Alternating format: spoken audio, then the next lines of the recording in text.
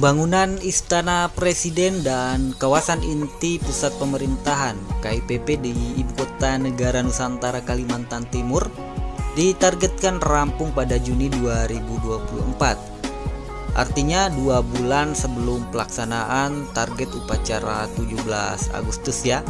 Karena rencananya pemerintah akan menggelar upacara 17 Agustus tahun 2024 mendatang di ibu kota Nusantara ini. PT Pembangunan Perumahan alias PTPP selaku kontraktor pelaksana pemenang tender menyatakan komitmen agar pembangunan Istana Presiden bisa selesai sesuai dengan jadwal yang telah ditentukan. Presiden Komisaris PTPP Andi Gani meminta seluruh jajarannya untuk selalu menjaga integritas serta disiplin dalam menjalankan tugas. Ia tak ingin perusahaan BUMN konstruksi tersebut menyia-nyiakan kepercayaan yang telah diberikan dalam membangun proyek strategis nasional tersebut. Andi Gani mengaku PT PP siap untuk menyelesaikan proyek pembangunan di Ibu Kota Nusantara sesuai dengan tepat jadwal. PT PP siap bersedia berkomitmen secara profesionalisme dan menjunjung tinggi integritas dalam mengerjakan proyek-proyek infrastruktur nasional. Sebelumnya, Menteri Pekerjaan Umum dan Perumahan Rakyat Basuki Hadi Mulyono menargetkan agar pembangunan Istana Presiden di Ibu Kota Nusantara rampung pada Juli 2024 mendatang. Terbaru, Kepala Satgas Pembangunan Infrastruktur IKN Danis Hidayat Sumadilaga memproyeksikan konstruksi Istana Negara dan Kantor Presiden di KIPP Nusantara selesai pada Juni 2024.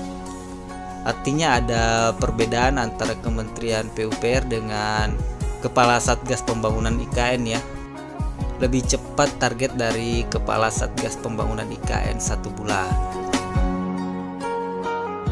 Nah, adapun progres pembangunan, Danis menjelaskan progres pembangunan gedung Istana Negara dan lapangan upacara sudah sekitar 22,1 persen Sedangkan untuk pembangunan gedung kantor presiden mencapai 27,5 persen.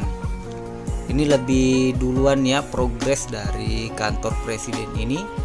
Apalagi kan bila burung garudanya juga sudah dalam perjalanan menuju ke ibu kota Nusantara dari Bandung. Jadi ada sekitar 80 bilah burung Garuda dan sebanyak dua segmen yang nantinya akan dilakukan uji coba pemasangan di lokasi kantor presiden di ibu kota Nusantara ini. Nah, Danis mengungkapkan bahwa sekitar Juni 2022 pembangunan ibu kota Nusantara bakal dirampungkan dan pada Juli itu komisioning atau pengujian operasional semuanya. Jadi pembangunan ibu kota Nusantara ini sudah dilakukan perencanaan yang matang ya. Kemudian juga sudah ditentukan mengenai target kapan selesainya pembangunan tersebut. Apalagi kan kalau kita melihat dari segi kurun waktu saat ini sudah tidak ada satu tahun lagi kurang lebih 11 bulan pengerjaan dari bulan September ini. Nah, untuk itu perlu kiranya pihak kontraktor perlu memperhatikan lagi sekiranya proyek ini tetap berjalan sesuai dengan target.